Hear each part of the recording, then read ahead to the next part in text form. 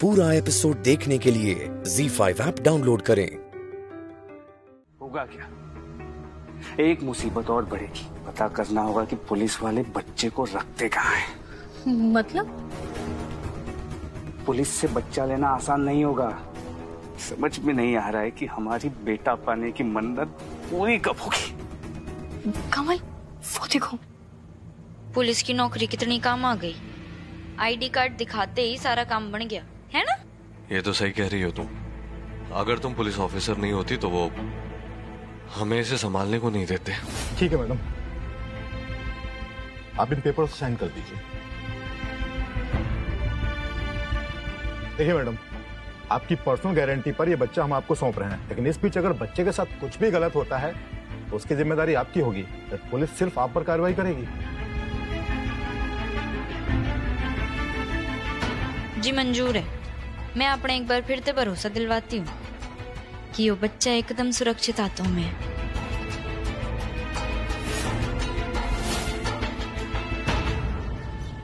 दादी। अरे संभल के आ काकी जाओ। ए, एक मिनट।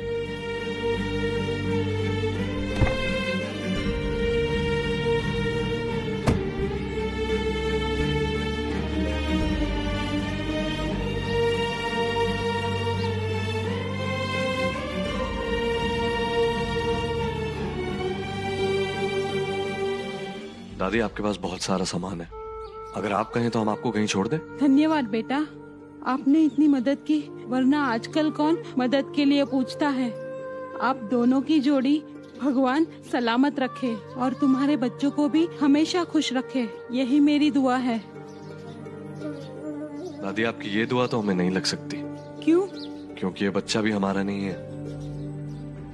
और हम दोनों एक दूसरे के साथ नहीं है। अगर आपको दुआ देनी है तो उस बच्चे को दीजिए ताकि जल्द से जल्द अपने माँ बाप से मिल जाए। मैं जानता हूँ, जब माँ बाप से उनका बच्चा दूर हो जाता है तो उन्हें कैसा महसूस होता है। इसलिए आपको जो दुआ देनी है इस बच्चे को दीजिए। दुआ तो वापिस नहीं ली जा सकती। मैं भगवान से प्रार्थना करूँगी, दुआ आप दोनों को लग जाए।